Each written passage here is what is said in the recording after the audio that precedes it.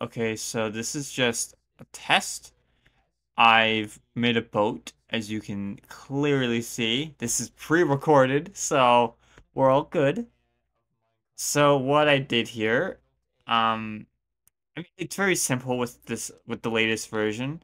So what I did is, well, first of all, I um I have to change the uh the back rudders because right now the current rudder textures fucking uh fucking uh, fucking missing texture, so I had to replace it with uh some vertical smooth stairs or slabs with the Quark mod.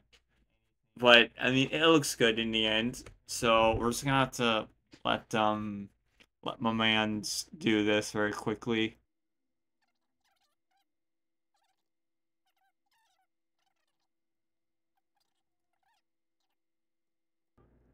Okay, so this is uh what I did. So with vertical slabs, you can, I mean, eh, the name entails you place vertical slabs.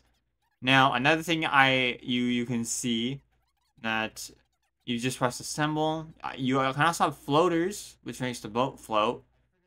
Now I also decided that um the top wasn't good enough, so I just did stair stuff. So yeah, I I just made yeah, so I just did I sort of just did this along along the thing and then had had that and then put two lanterns there so I have light. Uh, eventually, so all you all you need to do is shift right click on the wheel. I put, went into F5 and then look at this. All you gotta do is boat. You have a boat in Minecraft. You can see that it works, so that's pretty cool.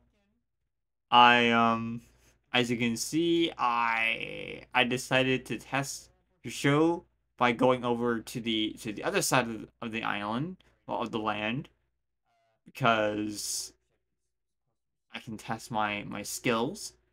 So it's very slow at first, but you can you can fix that with the very few blocks you have. I don't know how. Probably the, the, the ship engine, but there you go. I have parked the boat. So I literally just come off it like any normal walk. So I so yeah, it, it's very easy to do in the latest version of Valkyrie Skies. Um next time I might do something similar to this, but make a boat, uh, make a plane instead. Try to figure out how that works in, in this version of the mod. But yeah, that's literally about it. So I suggest we play that on the newest version.